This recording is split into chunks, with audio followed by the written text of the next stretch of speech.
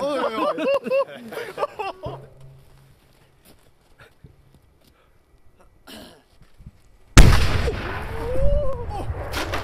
Good God! Listen, shush!